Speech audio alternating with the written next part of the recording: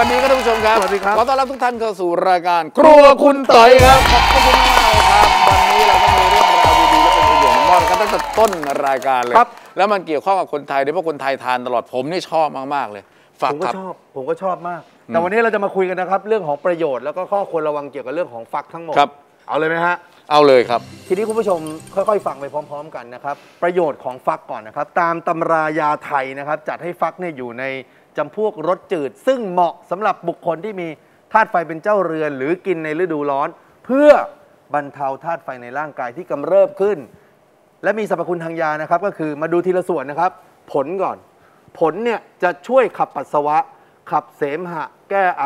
หลอดลมอักเสบ แก้โลหิตเป็นพิษ แล้วก็อาการบวมน้ำอืม ทีนี้มาดูที่เมล็ดนะครับ พอเราพูดถึงเมล็ดฟักแล้วมันขำมากเลยนะ เพราะคนเราเราก็กินแต่อันเนี้ยนะใช่เนื้อใช่ฟักใช่ อะเมล็ดเมล็ด เมล็ดนะครับเมล็ดเนี่ยเขาบอกว่าใช้ลดไข้นะครับ แก้ฤทธิ์สีดวงทวารแก้โรคทางเดินปัสสาวะ แก้ตกขาว ละลายเสมหะบำรุงผิว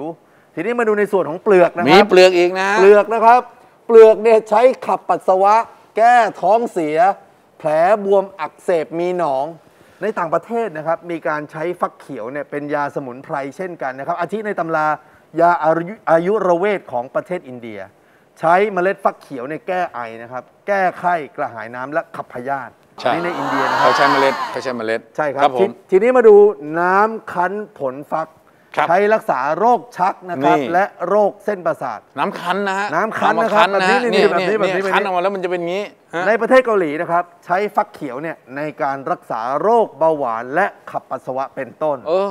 ทีนี้เรามาดูที่ส่วนของเมล็ดฟักกันครับครับเมล็ดฟักเนี่ยนะครับสามารถใช้รับประทานได้นะครับ มีผลการวิจัยจากสารสกัดในเมล็ดฟักนะครับว่ามีสารต้านออกซิเดชันของกรดไลโนเลอิกนะครับ ช่วยลดอัตราการออกซิเดชันของไขมันเลว และมีสารประกอบฟีนอลนะครับที่มีฤทธิ์สามารถช่วยป้องกันโรคหลอดเลือด และโรคมะเร็งได้มากกว่าส่วนอื่นครับ แต่ต้องทำให้สุกก่อนนะครับ แล้วค่อยนำมารับประทานครับ ครับ ทีนี้เรามาดูว่า วิธีใช้แบบเป็นทางยาเป็นบ้างทางยาเลยครับตอนนี้เป็นทางยาตรงๆเลยหนึ่ง รักษาเบาหวานครับ ครับ โดยการต้มฟักนะครับที่ปอกเปลือกแล้วนะครับ ต้มน้ำกินเนี่ยครั้งละ 60 ถึง 90 กรัมเนี่ยเป็นประจำ จะทำให้น้ำตาลเนี่ยลดลงครับ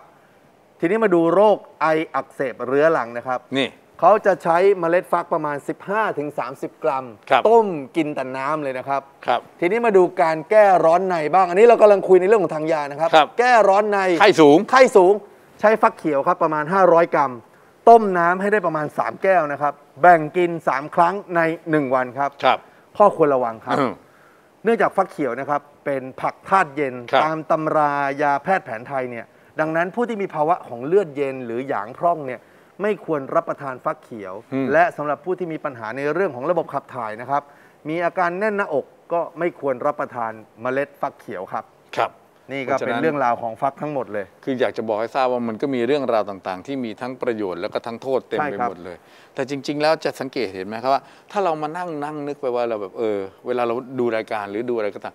ทุกสิ่งทุกอย่างมันมีประโยชน์มันมีโทษด้วยกันทั้งนั้นใช่ครับแต่ที่ดูสำคัญที่สุดเราต้องดูตัวเราตัวเราครับเราชอบอะไรเป็นหลักใช่ครับเราต้องศึกษาเรื่องนั้นใช่ครับอย่างถ้าอย่างผมคุณเป็นคนชอบกินฟักคุณก็ต้องศึกษาเรื่องฟัก ใช่ผมก็จะไม่กินเมล็ดมันนะผมก็กินแต่เขาเรียกว่าเนื้อข้างในมันไม่กินเปลือก ก็ต้มเป็นแกงจืดกินอืมอะไรเงี้ยอาทิตย์ละหนึ่งครั้งหรือสองครั้งเงี้ยกินเพื่อให้ร่างกายแบบเออเราอันมันเงี้ยอย่างเงี้ยลูกผมกินง่าย คุณคุณว่าคนโบราณฉลาดไหมเขากินเนี่ยนะไม่ว่าอะไรก็ตามนะ ตั้งแต่รากตั้งแต่เปลือก ตั้งแต่ต้น ตั้งแต่ใบใช่ครับ ไล่ไปผลไล่ไปเมล็ดโอ้โหแต่มันมีประโยชน์ที่แตกต่างกันไปหมดเลย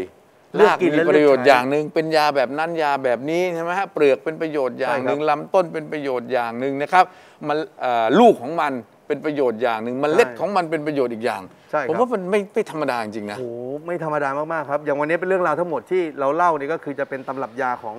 แพทย์แผนไทยโบราณครับแล้วก็ปัจจุบันด้วยจากงานวิจัยด้วยทั้งหมด ลองเอามารวมกัน แล้วเดี๋ยวจะเอาเรื่องราวทั้งหมดเนี่ยไว้ใน Facebook ของครูคุณต่อยนะครับ คุณผู้ชมสามารถตามอ่านได้ในนั้นด้วย เพราะว่าจะได้สรุปไว้ให้เราจะได้แบบอ๋อ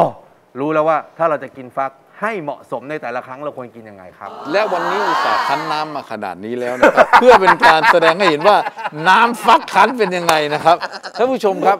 เราจะสละชีพเพื่อชาติคุณลองดูสิครับเขาคั้นมานะครับเนี่ยครับเขาทำมานะฮะอันนี้น้ำฟักจริง ๆ เชิญเลยครับแม่แต่เกรงใจเจ้าของไม่ต้องบเกริรงษัทใจครับเชิญเลยครับ เชิญเลยครับ แล้วคุณจะได้บอกผมว่ามันเป็นยังไงผมอยากรู้เหมือนกันนะครับ น้ำฟักครับท่านผู้ชมโอ้กลิ่นเป็นไงไม่มีกลิ่นนะครับไม่มีกลิ่นอ๋อไม่มีกลิ่นเหรออืม เป็นไงฮือโอเคครับอาใส่อะไรเข้าไปเปล่าหรือน้ำเปล่ามันเป็นน้ำฟักอะครับจริงเปล่ามันต้มฟักอะคือกลิ่นเอาฟักอยู่ในน้ำอะๆเอาละฮะแล้วผมอันนี้นะครับ นี่ก็เหมือนกันนะเขาทำมาสามถ้วยใช่ป่ะเหมือนกันใช่ไหมโปรดิวเซอร์เหมือนกันเหมือนกันนะเหมือนกันเหมือนกันเออฟักชัดฟักชัดๆ ก็เป็นน้ำฟักอะคุณผู้ชมก็อย่างที่บอกว่าอืมเวลาเวลาเวลาเราจะใช้เราก็ไปดูนะครับ เลือกดูเอาเดี๋ยวจะเขียนไม่ได้ให้ใน Facebook ของครัวคุณต่อยนะครับว่าแต่ละอย่างเราควรทำยังไงน้ำฟักเนี่ยเหมาะกับใครๆวันนี้เป็นเรื่องราวของเขาวันหน้าก็จะเป็นเรื่องราวอย่างอื่น ตอนนี้ครับพักสักครู่พวกสีน่าสนใจก่อน เดี๋ยวพบกับช่วงต่อไปของรายการสักครู่เดียวครับ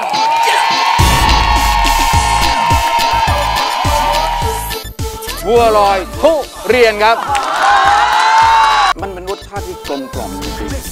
ยนมันมาอ่อนๆ นุ่มๆ แล้วมันหอมมันละมุนปากรสชาติอยู่ในเม็ดอยู่ในน้ำอยู่ในปากหมดเลยๆผมขอปรบมือให้เลย